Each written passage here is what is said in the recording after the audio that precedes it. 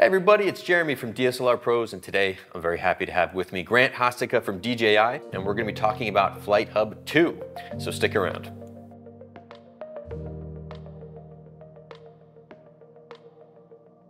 Flight Hub 2, what is it? Well, I like to uh, describe it simply as live operations management. Okay. You're able to get information from the drone pilot to other people on the team. So who is it really designed for? Anyone who's going to want live information from the pilot or someone who might want to push information from their computer out to the pilot. So maybe use case would be uh, like a public safety situation where there's a command center and then there are people on the ground and being able to sort of coordinate all that with the information that's provided by the drones, that kind of a, a situation for Flight Hub 2? Another thing as well, which we'll get into later on, is you know being able to take data from your computer, pushing it out to the controller as well. So if you're doing an inspection, you want to pre-plan a mission, or you want to share where infrastructure is that you're looking at, is another option.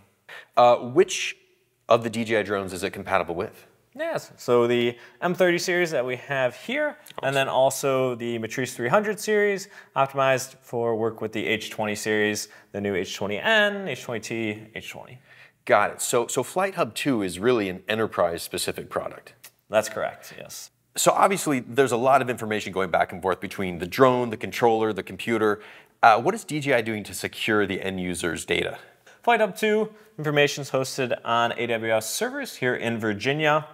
The platform is also ISO 27001 compliant, which is a bit of a mouthful, but essentially an international standard in regards to data security. So obviously with the name Flight Hub 2, this is not just another upgrade to Flight Hub 1. What is the big difference between Flight Hub 1 and Flight Hub 2? Flight Hub 1, end of life, kind of in the past. Flight Hub 2, new platform, continue to build on that into the future. So live operations management really is the focus here. You'll see on the live map there, you can hold the control key on the keyboard, manipulate the map, in a 2.5D is what we call it, so you can see any terrain in the area, very useful for operations. And then also in that map view, view the current drone location, the altitude, turn the laser rangefinder on, see exactly what that camera is looking at, along with the video feed. You can look at the FPV camera or whatever feed from the payload that the pilot has up. So can you walk me through how that would work? How would we plan a route and manage a mission with Flight Hub 2?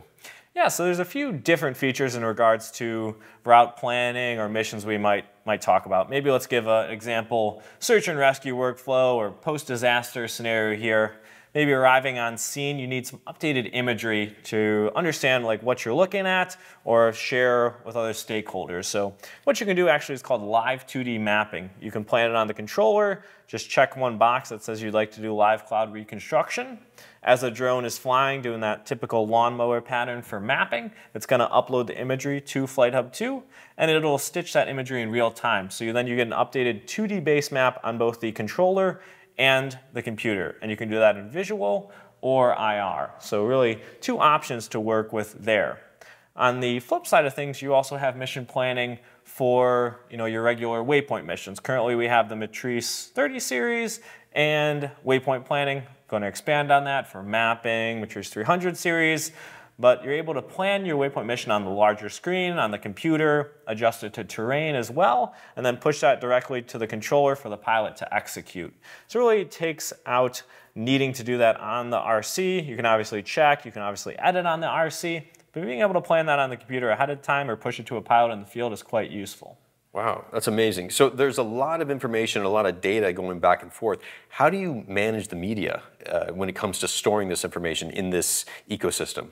So you have the optional capability on the controller to push any photos, videos, or panoramas to the cloud, and then obviously can view those. You can record live streaming as well, and that goes into the media section within the Flight Hub 2. For those photos or videos, you can put them onto a specific point on the map. So during your operation, you can see, hey, where was that photo taken? What does it look like? Or the panorama. Very useful if we're trying to get a quick 360 view of an area low megabyte size, only 30 megabytes compared to a lot of photos. So if you're struggling with internet connectivity, the panorama can be very useful to get a quick overall view of the scene. So how is Flight Hub 2 integrated into the new RC Plus? You just open up our new Pilot 2 app. On the home screen, you'll see an option to connect to any cloud platform. That could be a third party through the Cloud API or Flight Hub 2. You're just with your DJI account linked to the project. Simply click on that and you're connected. Obviously, there's a lot going on with Flight Hub 2. Is there anything else you want to mention? Yeah, I think one thing is the ability within the Flight Hub 2 software to import and export KMLs. So uh -huh. on the new Pilot 2 app, and using the laser rangefinder, we can drop pins, which are points, we can draw lines, and we can also draw polygons. So if you'd like to export those from Flight Hub as a KML to another third-party service, I know search and rescue team, some use something called like SARTOPO, that's an option. And then on the flip side, as a utility, if we're trying to bring in line and pull data, you can go ahead and import KMLs as well that the pilot can then see directly on the controller. Sounds like an amazing tool. Uh, Grant, thank you so much for coming and sharing uh, Flight Hub 2 with us. We're very excited about Flight Hub 2. Hope you are as well. If you have any questions, please reach out to us via email, give us a call, or reach us at our website at dslrpros.com. Let us know what you think about Flight Hub 2 and what your favorite feature is in the comments below. I'm Jeremy. Thanks again for tuning in. We'll see you next time.